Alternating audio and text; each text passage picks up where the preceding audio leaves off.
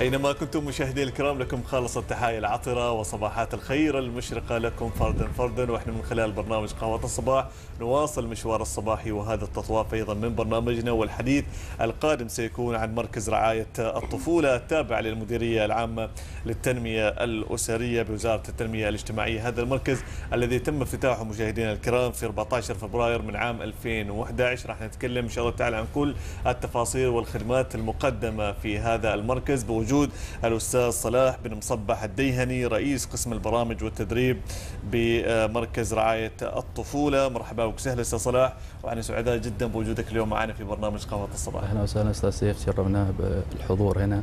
جزاكم الله خير على هذه الدعوة الطيبة. واهلا وسهلا بالمتابعين الكرام. عبر تلفزيون سلطنة عمان برنامج قهوة الصباح. أهلا وسهلا بك مرة أخرى أستاذ صلاح. يعني كما نعلم انه هذا المركز أيضا يستقبل فئات معينة من الأطفال. والآن نعرف المشاهد الكريم آه، على مركز رعاية الطفولة وأيضا رؤيته المستقبلية. نعم.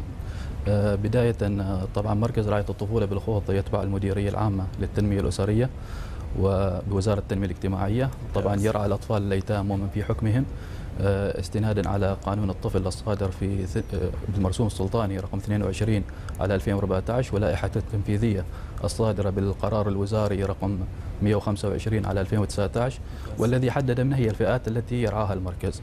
طبعا الفئات التي يستقبلها المركز هي فئات ال- الأطفال المولودين داخل السلطنة من أبوين مجهولين والأطفال المولودين داخل السلطنة من أب مجهول وأم عمانية وكذلك الأطفال المولودين خارج السلطنة من أم عمانية وأب مجهول وكذلك الأطفال فاقدين الرعاية الأسرية والأقارب آه، والمحرومين من الرعاية حتى من درجة الأقارب حتى الدرجة الرابعة.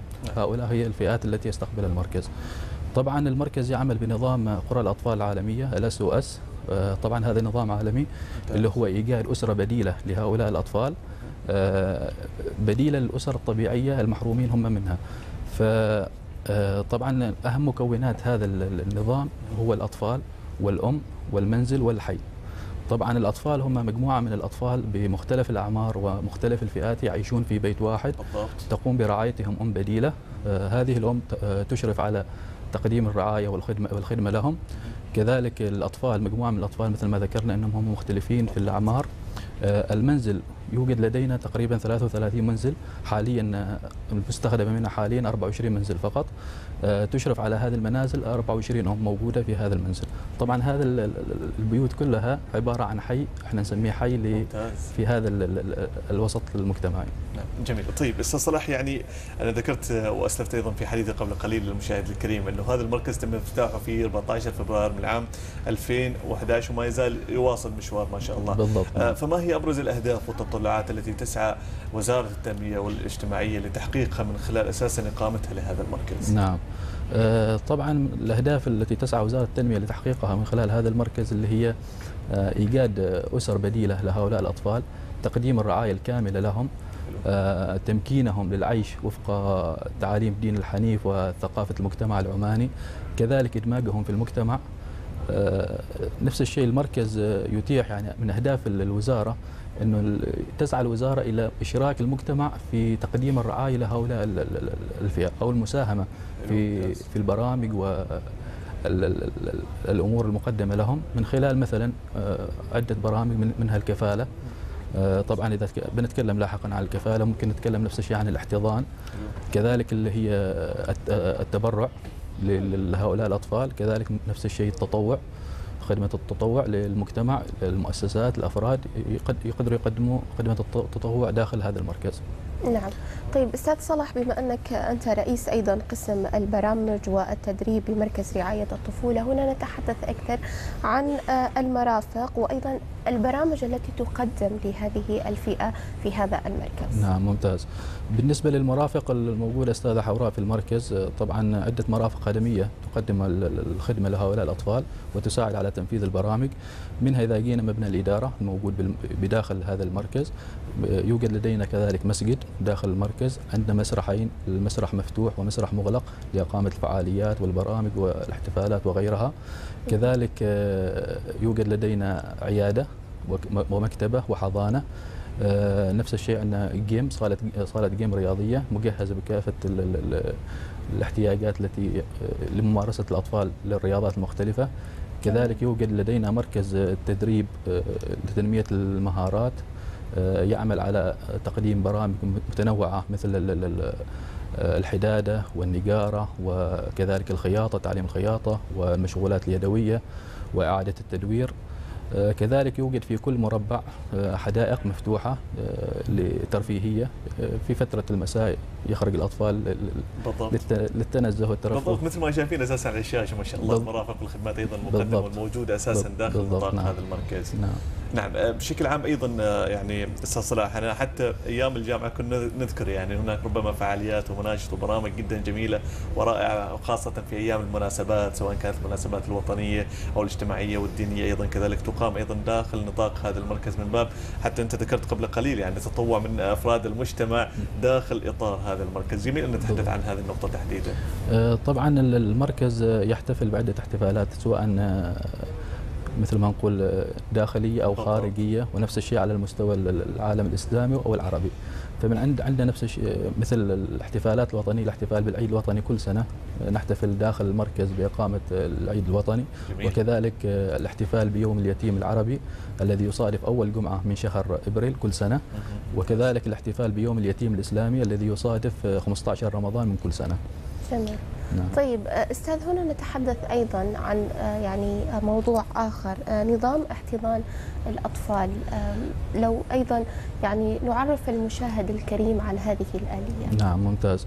طبعا نظمت اللائحه التنفيذيه لقانون الطفل الصادرة بالمرسوم بالقرار الوزاري رقم 125 على 2019 نظمت عملية الاحتضان للأسر في الباب الرابع. آه، طبعا شمل عدة جوانب من ضمنها شروط الاحتضان وكيف آلية الاحتضان. آه، طبعا نستطيع أن نذكر هنا ما هي شروط الاحتضان آه، مقدم طلب الاحتضان ما هي الشروط التي يجب أن تتوافر لدى هذه الأسرة أو المواطنة. طبعا هو يحق للأسرة أو أو المواطنة. طبعا أن يكون من الجنسية العمانية وكذلك مسلمين. كذلك الأعمار من عمر 25 إلى عمر 49 سنة. أن أن يكون حسني السيرة والسلوك كذلك أن يكون قادرين على تقديم الرعاية لهؤلاء الأطفال المحتضنين الذي سوف يحتضنوهم. وأخيرا اللي هو خلوهم من الأمراض المعدية والمزمنة. هذه هي الاشتراطات. طبعا ينظم هذا العمل دائرة شؤون الطفل بالمديرية العامة للتنمية الأسرية. هم من يقومون بتنظيم عملية الاحتضان وذلك بعد نفس الشيء موافقة سعادة الوكيل على طلب الاحتضان. في الخطوة الأخيرة طبعا إحنا كمركز رعاية الطفولة يتم إرسال الموافقة لنا لتسليم الأسرة وفق استمارات معينة تنظم هذا الجانب. جميل. هذا فيما يتعلق بالاحتضان احتضان. واشتراطاته. لكن هناك مصطلح أيضا يتردد وهو الأم البديلة. يعني هل هناك ربما أيضا اشتراطات أخرى أيضا يجب أن تتميز وتتوافر فيما يتعلق بهذا الأمر؟ آه، لنيل أساسا هذا الشرف العظيم. نعم جميل. بالنسبة للأم البديلة مثل ما ذكرنا في بداية اللقاء الأم البديلة هي أحد مكونات النظام الذي نعمل عليه واللي هي تكون أساسا هي المحور الأساسي لتقديم الخدمة وهي صاحبة التواصل المباشر مع الطفل.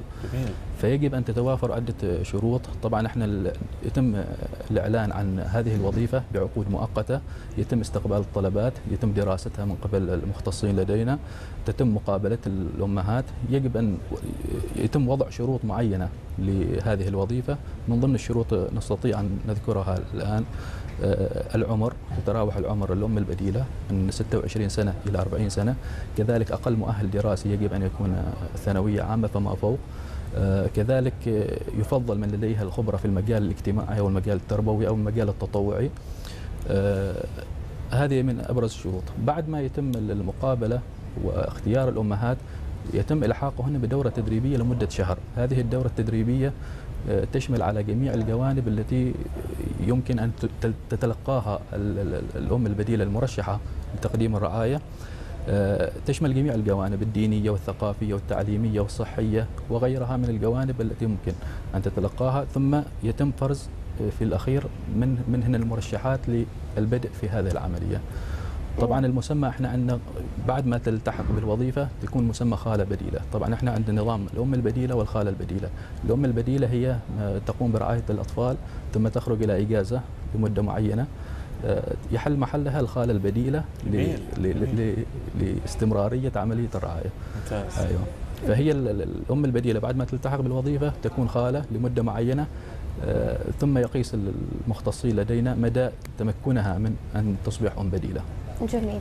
نعم. طيب بالنسبة أيضا للمراهقين أكيد يعني هذا المركز أيضا يشمل جميع الفئات العمرية. هنا نتحدث عن الأطفال ولكن المركز كيف يتعامل أيضا مع فئات المراهقين؟ طبعا فئات المراهقين طبعا هي فئة معروفة لدى الجميع في الجانب الاجتماعي و ما الذي يمر للشخص أو أو الشاب في هذه المرحله التطورات التي تحدث لديه؟ طبعا إحنا نقوم برعاية الأطفال منذ الصغر بعض الأحيان يعني الأطفال من عمر أشهر يكونوا معنا. لحد فترة معينة إحنا خلاص يعني الاعتبارات دينية واعتبارات شرعية ما ممكن إنهم يكونوا داخل المركز. فإحنا ننقلهم إلى خارج المركز فيما يسمى ببيوت ادماج الشباب. طبعا بيوت ادماج الشباب هذه تابعة للمركز في مؤسسة آه، تتبع للمركز آه، طبعا هي عبارة عن بيوت مستأجرة. يشرف عليها اب بديل مثل ما عندنا في المركز أم بديلة في البيوت الشباب يكون اب بديل الاب البديل هو يكون المشرف المباشر على هؤلاء الشباب في بيوت ادماج الشباب. طبعا برامجهم تكون آه، برامج مختلفة ومختصة لتقديمها لهؤلاء الشباب في البيوت. حاليا يوجد لدينا في بيوت ادماج الشباب ما يقارب 64 شاب. طبعا من ضمن البرامج اللي إحنا نهتم فيها برامج الرعاية اللاحقة لتمكين هؤلاء الشباب وقد يعني كيف نقول تحسينهم أو يعني تهيئتهم ليكونوا قادرين على آه، الاستقلال والاندماج في المجتمع. نعم، هذا فيما يتعلق بالمراهقين. المراهقين ولكن عودا أيضا الأطفال، كيف يتم أيضا تمكينهم؟ كيف يمكن فعلا دمجهم أيضا في المجتمع؟ برامج الدمج طبعا مختلفة. آه، كيف إحنا ممكن؟ يعني طبعا آه، هؤلاء الأطفال يعني من أهم الخطوات اللي قمنا فيها منح هؤلاء الأطفال الاسم الكامل والقبيلة. هذه من ضمن أهم الجوانب اللي إحنا ركزنا عليها لدمج هؤلاء الأطفال وعدم تمييزهم عن باقي أطفال المجتمع. كذلك آه، تنمية مهاراتهم اكتشافها تطويرها إشراكهم في المسابقات الداخلية والخارجية. كذلك آه، إشراكهم في في المجتمع مثلا في أعمال التطوعية آه، المسابقات الجولات السياحية. الجولات السياحية نعم. ممتاز. تدخل من ضمنها البرامج الترفيهية المقدمة لهم. هذه كلها آه، تحت الجانب اللي هو كيف ممكن إن إحنا نمكن هؤلاء الأطفال من إنهم يكونوا قادرين على أن يندمجوا في المجتمع. جميل يعني من خلال من خلال حديثك تعرفنا إنه مركز رعاية الطفولة يقدم العديد من البرامج وأيضا الورش التدريبية لهذه الفئة ويحق أيضا لهذه الفئة المشاركة في مختلف البرامج وأيضا المحافل المحلية والدولية. نعم. هنا نتحدث أيضا عن خططكم المستقبلية بإذن الله. آه من ضمن الخطط المستقبلية إحنا جالسين يعني نعمل على تطوير آه، الخدمات التي تقدم لهؤلاء الأطفال في المركز. كذلك آه، تحسين المعايير آه، المعايير التي يتم فيها قبول مقدمي الخدمة. كذلك نعمل الآن على يعني إنشاء نادي للابتكار داخل المركز. هذا النادي طبعا يضم مختلف الجوانب على أساس الأطفال يتمكنوا من تطوير مهاراتهم وتطوير قدراتهم في هذا الجانب من الابتكار.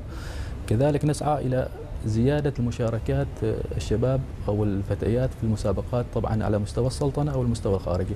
الحمد لله إحنا حققنا عدة إنجازات في هذا المجال المشاركات الخارجية.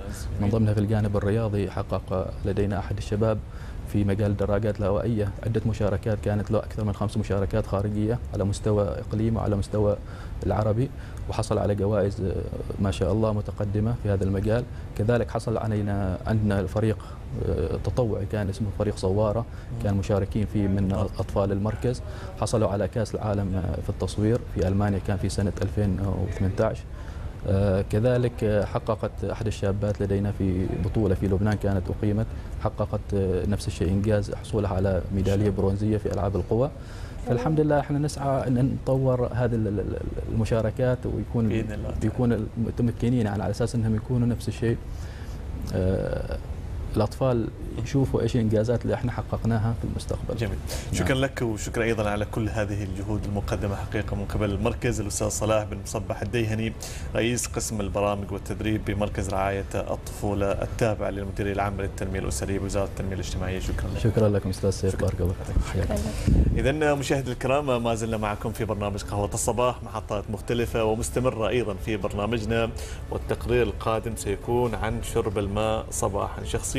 حريص جدا على ذلك.